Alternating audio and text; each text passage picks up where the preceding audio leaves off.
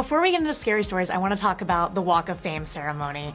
Watching you with your star waving the Mexican flag. I mean, what what did that moment feel like for you? It felt very uh, much uh, like a moment in which uh, what I felt going to the stars of people I admired in in storytelling. You know, uh, weird people mostly, or uh, people that came from my country. It inspired me, and I was hoping to leave a little bit of that there. Lana Del Rey was there to present to you, and I know you guys collaborated on this film. She had a song, but how did you guys become besties? Well, I, I, uh, I've admired her work for a while, and because she she has a very uh, unique uh, quality to evoke images with her songs and her voice and her music.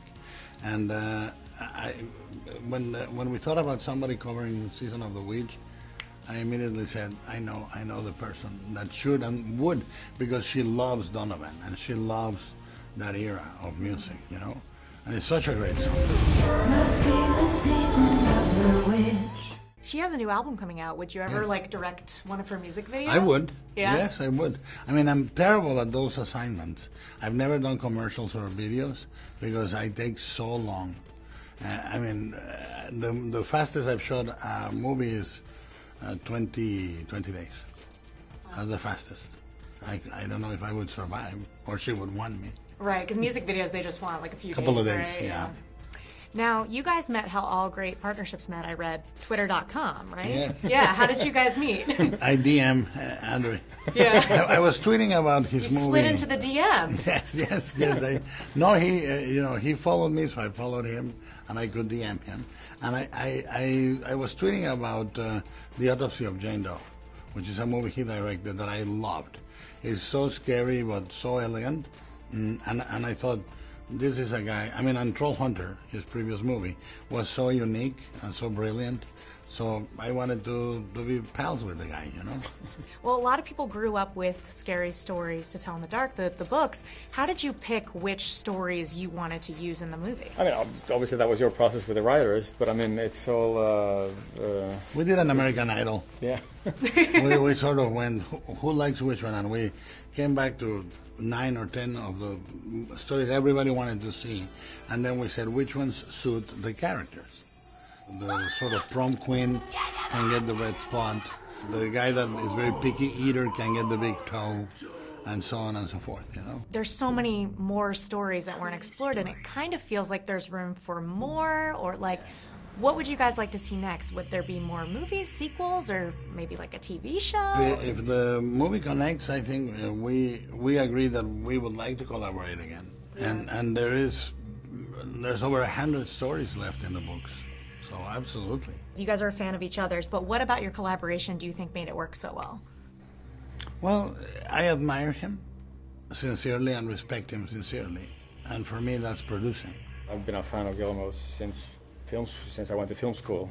Uh, So it's been uh, amazing to be able to learn from him through the process of honing in this film, which has been a masterclass for me for a year now. Yeah. What's your favorite Guillermo film?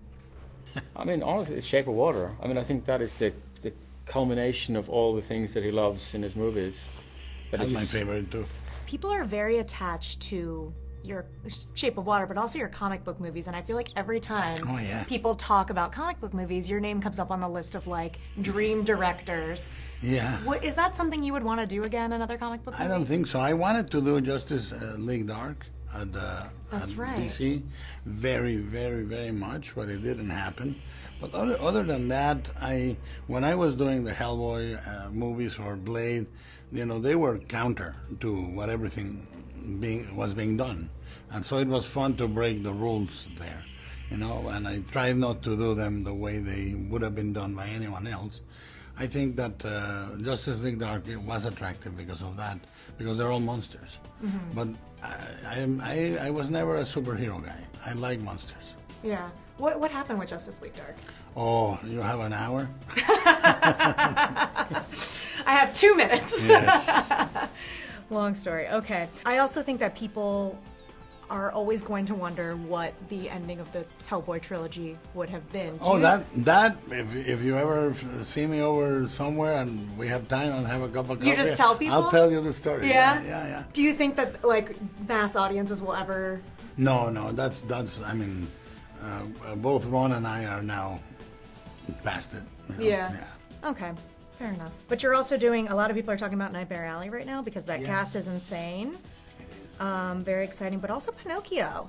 Yes. That seems like one because you said you like to do things that are like kind of counterculture. A lot of people know that story. What is, what about this Pinocchio is Oh, believe me. Del this- Toro'd? this is that- well, somebody said, "Oh, there's another Pinocchio and there's another one." I said, "No, no, no Pinocchio will be Yeah. like this one." Is it animated?